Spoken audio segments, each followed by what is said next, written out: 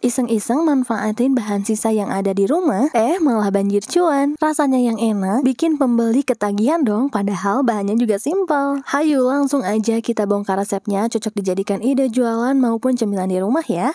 Nah oke, jadi pertama di sini aku udah siapkan satu papan tempe, kemudian tempenya kita akan potong-potong kecil. Ini potong-potongnya memanjang seperti ini ya gengs.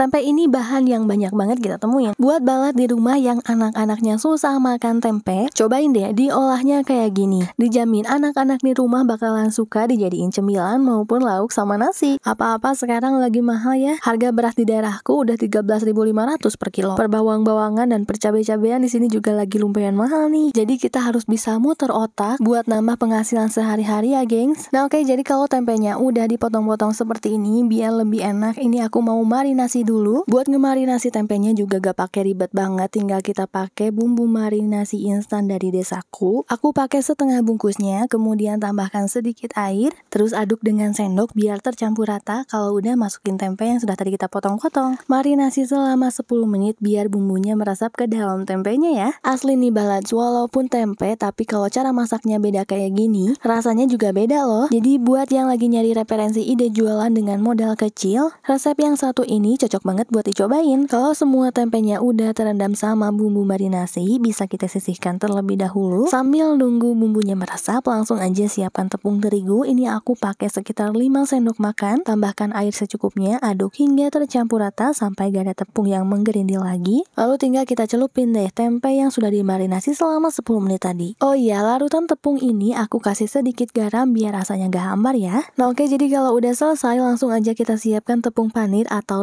tepung roti, masukin tempe yang sudah tadi kita masukin ke dalam adonan tepung basah, lalu tinggal kita balut aja deh menggunakan tepung panir ataupun tepung roti. Buat yang nanyain apa sih bedanya tepung panir sama tepung roti? Kalau tepung panir itu warnanya oranye, ada yang teksturnya kasar, ada juga yang teksturnya lembut ya. Kalau tepung roti warnanya putih seperti ini, untuk kegunaannya sama kok. Kalau udah dibalut menggunakan tepung roti, ini bisa kita simpan dulu di dalam freezer. Cocok banget dijadikan ide jualan frozen food atau stok untuk ide jualan maupun cemilan. Jadi kalau mau kita makan tinggal digoreng aja deh, praktis banget kan? Nah, kalau mau kita goreng, cukup goreng di minyak yang sudah dipanaskan sebelumnya, gunakan api sedang dan goreng sampai warnanya kecoklatan. Gimana nih, mudah dan simpel banget kan cara bikinnya? Kalau udah matang ini bisa kita jual dengan harga seribuan. Kalau belum punya lapak sendiri untuk jualan, resep ini bisa juga kita kemas menggunakan mika plastik dan dititipin di warung-warung atau kantin-kantin terdekat. Jadi walaupun belum punya lapak atau tempat sendiri, dan untuk kesempatan kita buat nambah cuan sehari-hari ya, kalau ada niat pasti dimudahin caranya. Ya walaupun nambahnya buat jajan anak doang. Tapi kalau gak diusahain, seribu buat jajan anak pun gak bakalan ada ya. Ayo buruan cobain resepnya. Atau biar gak lupa bisa di save dulu aja resepnya deh di Recooknya mah kapan-kapan aja. Oke cukup sekian videoku kali ini. Semoga bermanfaat dan menginspirasi. Jangan lupa tonton video yang lainnya dari Pojok Cindai. Dadah bye-bye.